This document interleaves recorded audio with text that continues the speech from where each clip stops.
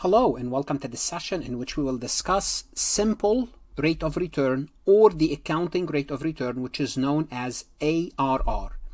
ARR or the simple rate of return is a tool that's going to help us judge the capital project. It's going to it's going to be part of the capital budgeting process. Now, accounting rate of return or simple rate of return those two words are interchangeable, it's taken us back to accounting figures. In contrast to previous tools such as NPV, such as IRR, such as payback method, all these methods uses the cash flows. Well, guess what? We're no longer using the cash flows here.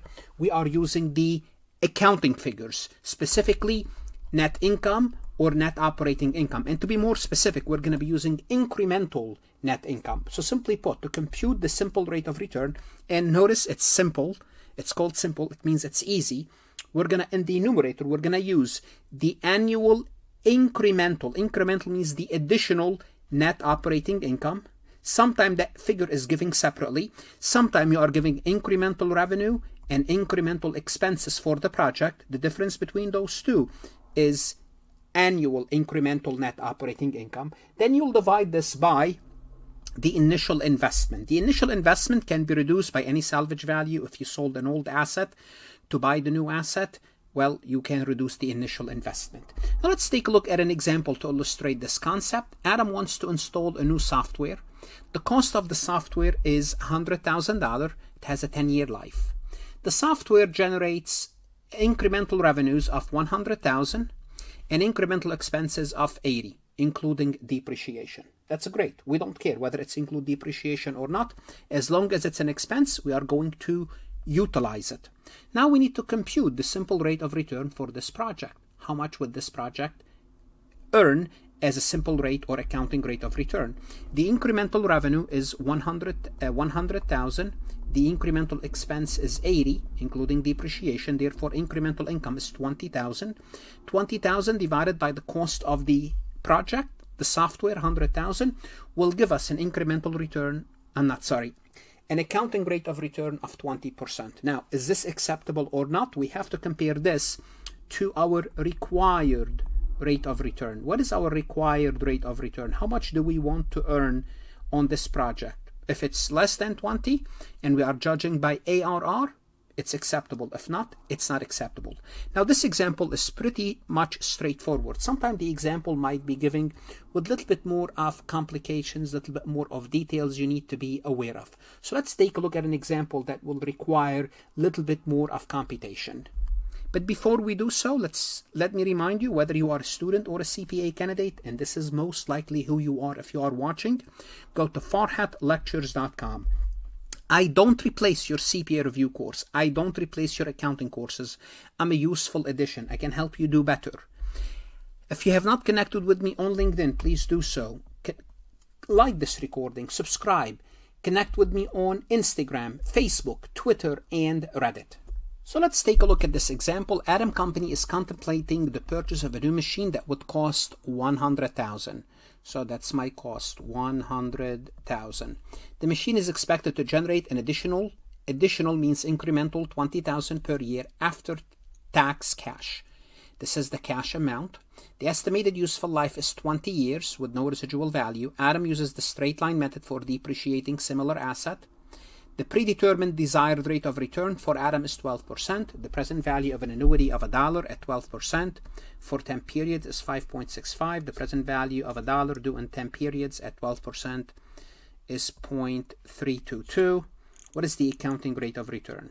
Hold on a second. I read all of this and most of it was useless. First, I'm computing the accounting rate of return. Sometimes they call it the accrual, you know, or the simple. Accounting means accrual, but this is because we use accrual accounting. So simply put, everything here I can ignore about time value. I don't need the time value whatsoever. All what I need is the incremental net income. Well, I know it will generate an additional $20,000. That's fine. However, this is cash. So it will generate an additional $20,000 cash. This is what I'm giving. But I don't need the cash. I need net income. Well, what does that mean? It means I need to deduct from that any expense. Well, what is the expense that I have? If I purchase the asset for 100,000, I'm going to be depreciating this asset over 20 years with no salvage value. It's going to give me a depreciation expense of 5. Therefore, what I need to do from a cash perspective, I'm making 20,000. From an accrual perspective, I'm only making 15,000. So what I did is I deducted the depreciation expense from the cash income. Again, you could have more complications, for example, taken into account the tax or not, so on and so forth. But the point is the incremental net income is 15,000. Now 15,000 divided by 100,000 will give me 15%. Is this an acceptable project? And the answer is yes, this is an acceptable project. And the reason is my predetermined minimum minimum desired rate of return is 12. Now let me tell you, if this company depreciated their equipment for 10 years, my expense, my depreciation expense will be 10. Therefore, my cash net uh, net income will be 10. Therefore, my ARR will be 10 and therefore I would reject the project. And I'm pretty sure you already noticed this is one of the weaknesses in the ARR or the accounting rate of return is depending on the depreciation depreciation method that you are using, you may accept or reject a project which is not based on the viability of the project. Well, it based on which accounting method you used. So what are some advantages and disadvantages? The advantages, it's easy to use accountant are comfortable with this because you are using net income, you are using depreciation figures, financial statement figures, takes into account the entire life of the project. Some disadvantages, it doesn't use the time value of money, it uses the nominal numbers. And if inflation is here, nominal numbers are useless.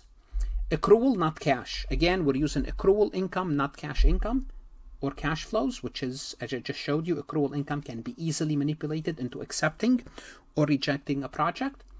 And the same project may appear desirable in some years, undesirable in other, if you change accounting methods, so on and so forth. What should you do now? Go to Farhat Lectures and work MCQs to learn about capital budgeting and the tools you need to judge those capital budgeting projects. Good luck, study hard, and of course, stay safe.